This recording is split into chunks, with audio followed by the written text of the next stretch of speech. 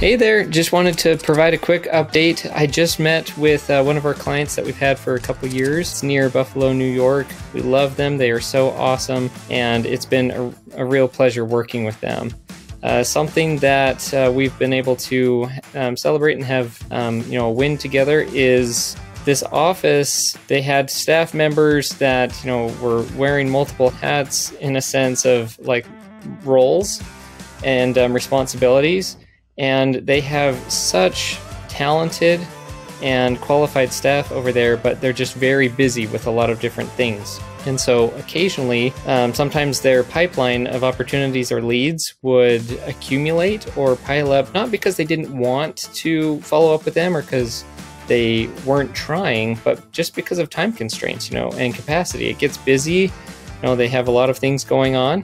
And so something that I had suggested a couple months ago was to get on to our service called the Setter Center, where our team will handle all of the scheduling for you.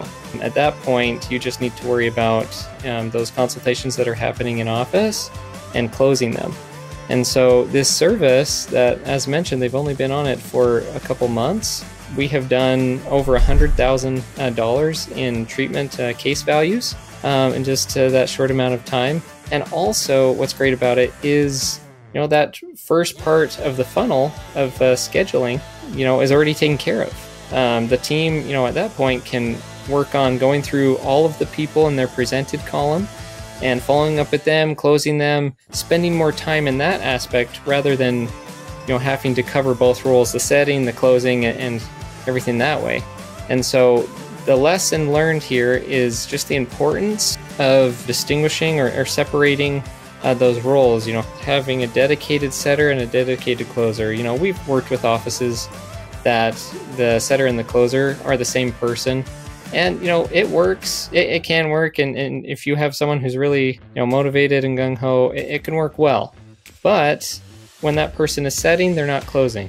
When they're closing, they're not setting. So there is a little bit of a bottleneck that can inevitably happen no matter how talented that coworker or employee, you know, is.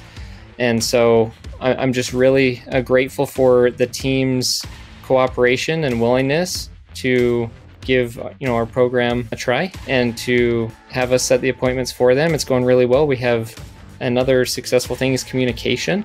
Uh, when we first started off, you know, it, it's new for both our team and theirs of getting a feel for the office and the certain settings and configuration of the office for, you know, scheduling. And so we did have to work out and tweak some things in terms of, you know, with the front office or coordination and this and that. But after we got those things resolved and figured out, then that's when we started seeing, you know, the momentum really build and, and seeing even more results. And so I'm really grateful for this office for their communication. We have a text thread with me, our setter, their team. We're talking on it all the time. You know, this uh, questions about leads, questions about you know times to have them come in, and it's just a really great thing uh, that we have. So communication is key, and also having those separated roles so that there can be that extreme hyper focus of um, everyone, you know, being in, you know, a, a, lane, you know, if you will, and, and doing their thing, and then you know you can have a machine, uh, a well-oiled machine at that point of everyone just um, specializing in that task and then everything can just uh, eventually flow better. Thank you uh, for watching this. I hope that it helps. If you would like to incorporate this into your practice, or if you have any questions, please uh, send me an email at alex at dentalimplantmachine.com, and uh, I'd love to talk to you. Thanks so much and have a great rest of your day.